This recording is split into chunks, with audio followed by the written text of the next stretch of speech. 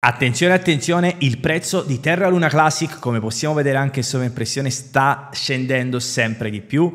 Stiamo vivendo un dump negli ultimi giorni, ci ritroviamo Terra Luna Classic a 0,303854. Tra poco vi spieghiamo alcuni dei motivi per cui sta scendendo di valore Terra Luna Classic. Vi ricordo che per esempio il 9 eh, di settembre eh, avevamo un, raggiunto un prezzo di 0,305865 e oggi vi spieghiamo naturalmente tutto quello che sta accadendo e cosa potrà cambiare in positivo per Terra Luna Classic. Però prima di andare avanti, come sempre, vi invitiamo ad iscrivervi al canale e attivare la campanellina di tutte le notifiche per non perdervi contenuti come questo. Detto questo, come possiamo andare anche ad analizzare all'interno di Terra Station, vi ricordo che è stata appunto data la possibilità all'interno della governance di poter votare per eh, quanto riguarda la tax bar dell'1,2% con i parametri un po' cambiati e cliccando all'interno di questo link, ok, eh, come possiamo anche andare a leggere praticamente all'interno del link stesso, abbiamo la possibilità di capire e comprendere che il tax bar non sarà più il 12 settembre, quindi oggi doveva avvenire, ma avverrà più o meno il 20 settembre, ok? E quindi all'interno di questa notizia potete andare a leggere un po' tutti i dettagli. Vi ricordiamo naturalmente, cosa fondamentale, che Binance, e l'abbiamo fatto vedere anche nel video di sabato, ha comunicato che praticamente accetterà il barn per quanto riguarda i prelievi depositi, quindi se noi depositiamo all'interno di Binance eh, dalla rete Terra Classic ci sarà una detrazione fiscale dell'1,2%, detrazione fiscale qui lo scrive perché lo traduce in italiano, ma in realtà un, non c'entra niente, nel senso è la tax barn del, del, del protocollo che entrerà in vigore al 20 settembre. E se preleviamo da Binance ci sarà di nuovo questa tax bar. Quindi comunque in qualche modo Binance partecipa a questa tax bar che dovrebbe avvenire il 20 settembre 2022 all'altezza del blocco Terra Classic 9.475.200.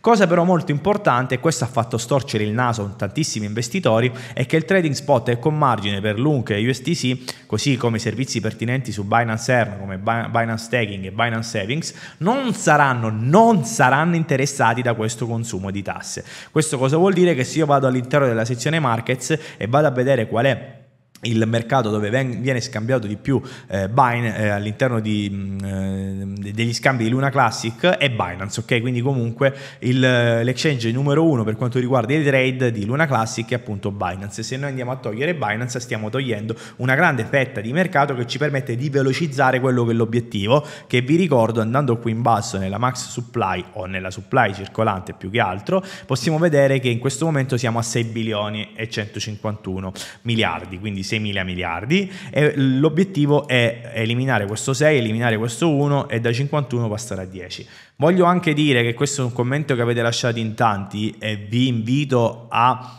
eh, vederle queste cose prima di scrivere un commento, in Italia questi sono bilioni, ok? Non siamo negli Stati Uniti d'America, non siamo quindi in terra eh, inglese, non siamo in terra statunitense, non siamo all'estero, non siamo in qualsiasi altra nazione, siamo in Italia e in Italia questi sono bilioni, ok? Questa è una cosa molto importante che volevo sottolineare. Detto questo, una cosa che vi voglio far analizzare all'interno di questa notizia che vi do un consiglio, andatela a leggere nel dettaglio, TerraSwap e Astroport si sono impegnati a sostenere la tassa. Tutte le app di ripristino dovrebbero funzionare come previsto.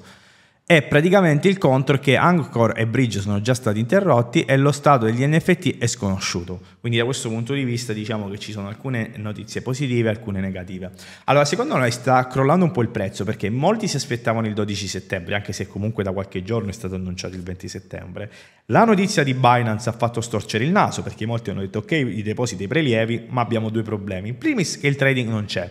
Ma nel caso in cui venisse messo il trading, e qui è un problema su cui molti non, non, non, non ci hanno ragionato, è che essenzialmente se tu, come ehm, al di là di Binance, tutti i checks, quindi tutti gli exchange centralizzati, iniziassero a tassare sia per i depositi e per i prelievi, quindi 1,2%, sia per gli scambi, leggiamo questa cosa insieme e non, non è stupido quello che ha scritto quest'utente. Qualcuno che acquista su un CEX soggetto all'1,2% off-chain e vuole puntare su Terra è soggetto al 2,4%, perché praticamente cosa succede? Succede che io compro Terra all'interno del, eh, de, di Binance. Se Binance accetta naturalmente il BARN, quindi già spendo l'1,2%. In più, quando invio un altro 1,2%, in realtà sono stato tastato del 2,4%. Ok? E questo naturalmente è, è, viene considerato eccessivo per quelli che sono i checks tipo Binance. Ok? Le soluzioni che dà questo utente secondo me non sono malvagie, nel senso che o si può modificare l'1,2 con qualcosa di più basso, ad esempio lo 0,6, ma arrivati a questo punto la vedo un po' complicata, o semplicemente chiediamo ai checks di implementare un altro 0,6 eh, off-chain e 0,6 per quanto riguarda i trade magari, ok? Quindi significa che si arriva all'1,2% andando a sommare queste due cifre, ok? Perché effettivamente è così. Eh, c'è questo, questo, problema che naturalmente attenzione può essere positivo perché si arriva più velocemente nel caso in cui Binance accetti di barnare anche con i trade ai 10 miliardi e questo cosa vuol dire potenzialmente le persone naturalmente avranno dei token in mano che probabilmente andranno a valere di più. Però attenzione, la notizia di oggi, clamorosa, è proprio questa, perché cosa è successo? Lunk DAO, che vi avevamo fatto vedere anche in qualche in qualche mm, video precedente quando si dovevano scegliere i validatori, dove vi dicevamo non scegliete i validatori che hanno il potere di voto più alto, ma andate a premiare anche quelli che hanno un potere più basso, così rimaniamo decentralizzati all'interno dell'ecosistema. Eh, ha, ha creato questo post e Binance vedete che ha risposto, ha risposto proprio questo Ciao, abbiamo introdotto un consumo fiscale, quindi un tax bar nell'1,2% per le transazioni on-chain, esattamente secondo la proposta. Quindi loro, Binance dice questa è la proposta e noi abbiamo accettato di seguire quella che è la proposta. Ehm, saldiamo la maggior parte delle transazioni al di fuori della catena e questo rende difficile la riscossione dell'imposta. Tuttavia, monitoreremo da vicino l'effetto del cambiamento e potremo rivedere la decisione. Ok, quindi da questo punto di vista, che cosa hanno voluto dire? Hanno voluto dire essenzialmente eh, che potrebbero cambiare la loro decisione. Infatti, naturalmente, gli, gli, investitori di terra sono arrabbiati, vedete, per questa decisione di Binance. Ehm, dopo che Binance ha affermato quindi che si unirà a questo bar, ma solo per i prelievi e i depositi, la maggior parte degli investitori non hanno apprezzato questa cosa ed è per questo che magari molti hanno iniziato a dubitare di quello che può essere il progetto di rinascita di Terra Luna, anche perché comunque il calo è sotto gli occhi di tutti, ce l'abbiamo avuto, ok? Ed avendocelo avuto questo calo, eh, questo dump, eh, che comunque non è trascendentale, perché vi ricordo che nell'ultimo mese, se io vado ad analizzare, ci ritrovavamo a 4,089, adesso ci ritroviamo a 3,037,62, ma naturalmente, ripeto, dipende anche cosa vogliono fare gli exchange centralizzati, che sono una parte importante secondo noi in questo momento per velocizzare quello che è il burn. E quindi se exchange come Binance, KuCoin, Gate.io, eccetera, eccetera, accettano di poter barnare, ok, l'1,2% anche Crypto.com, attenzione, questi, eh, questo burn sarà molto più veloce rispetto a farlo nel decentralizzato, dove attenzione in questo momento non è che le DApp per quanto riguarda Terra Luna Classic sono eh, incredibili, ok? Perché vi ricordo che in questo momento quello che stanno facendo all'interno di Terra Luna, al di là di chi crede in Terra Luna Classic, è puntare sul nuovo Terra Luna, ok? Dove è, è, si trova in questo momento una posizione 69 eh, per quanto riguarda la capitalizzazione di, di mercato, ok? Quindi ha avuto una crescita molto importante e, e, ha avuto anche un pump il token stesso. Andiamolo a vedere nell'ultimo mese, guardate qui, ce lo siamo arrivati qui, boom, subito un grande pump, ok? Vediamo invece la posizione di Terra Luna Classic, si trova alla posizione numero 30 addirittura, e quindi sta crescendo in maniera es- esponenziale, ok?